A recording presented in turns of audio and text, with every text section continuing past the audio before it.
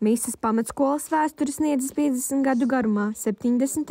gados Kūdras fabrikas ciematā vajadzēja skolu, bērnu dārzu, sakārtotu infrastruktūru. Savulaik te mācījušies vairāk nekā 330 skolēni, bet tagad pēc novadu reformas pamatskolā 34 pedagogi strādā ar nepilnu simtu bērnu, un audzēkņu skaits turpina rūkt. Skolai par sliktu nākuši arī gandrīz neizbraucamie ceļi. Misā bija sabraukuši ļoti daudz e, jaunu cilvēku un ar bērniem, e, kuri īrēja šeit vai pirka dzīvokļus, bet tiklīdz pienāca šī braukšana uz darbu, uz Rīgu pa šādiem ceļiem, Nu, viņi, protams, ir atstājuši gan dzīvokļus, gan paņēmuši bērnus. Gan skolotāji, gan bērnu vecāki atzīst, ka skola ir īpaša. Tajā mazā skolēnu skaita dēļ valda ģimeniska vide. Tajā katrs bērns tiek izcelts kā vērtība. Šādas skolas reorganizācija būs zaudējums gan vietējai sabiedrībai, gan skolēniem un viņu nākotnē. Nav jau arī noslēpums, ka bērniem atnākot uz šejieni, dažiem ir komunikācijas problēmas, nespēja, nespēja atvērties un nespēja iekļauties klases kolektīvā.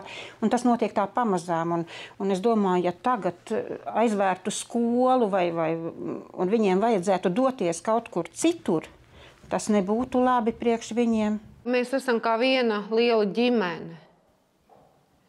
Un, uh, nav lielas klases, līdz ar to ir iespēja ar katru bērnu darboties Droši vien būtu jā, jāmeklē jauna dzīvesvieta, jāpārceļās tuvāk kaut kur eh, kādai lielākai skolai, kur neaizērt.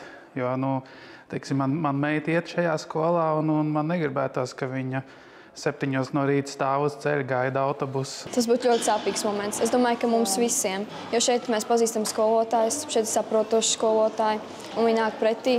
Es domāju, ka daudz, daudzās skolās tā nav. Nu, lielākās, protams.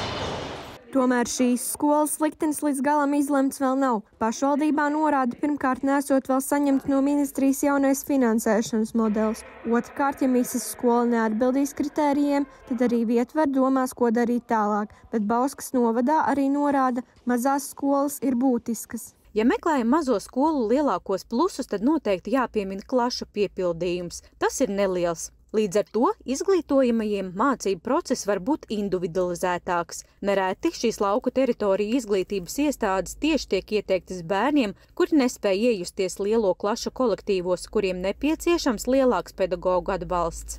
Kad gaidāms pašvaldības lēmums pagaidām nav nolemts, taču noprotams, ka misas skolai atbalsts no vietvaras būs.